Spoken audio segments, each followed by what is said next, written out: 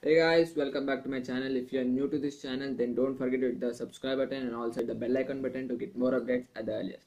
So today I will be telling you about how to make transparent uh, background of any image or how to erase the background of any image. So it's just a simple uh, trick. Um, just follow me. So let's get started.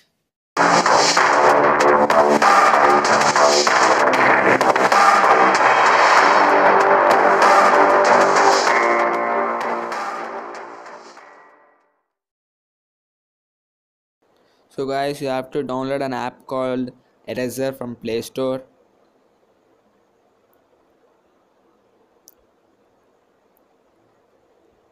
Just type Eraser.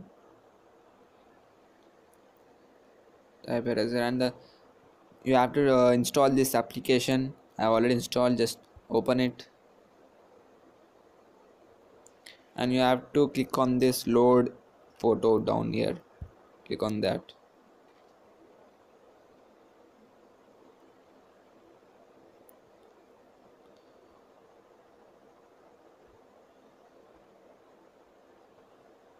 click on any image you want to make a transparent background. Just click on done. And then here uh, you will see an options down over here. Extract auto manual repair zoom everything. You just click on that auto button and then drag over where you want to make a transparent background. So click uh, leave it over here to make a transparent background. And automatically does uh, somewhat you have to do some more here. And it automatically does. Yeah.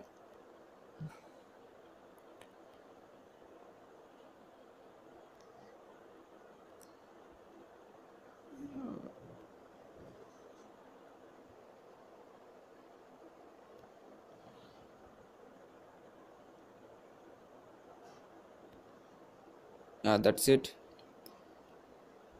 so after doing that you can re, uh, undo this by clicking on here bend arrow.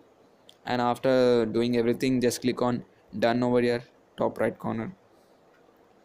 And it will look like this after transparent background. And then click on save here on type top right corner sorry. And voila over. Your transparent background is ready that's it guys. Hope you guys like it. Then please leave a like button and don't forget the subscribe button to get more videos like this. Bye guys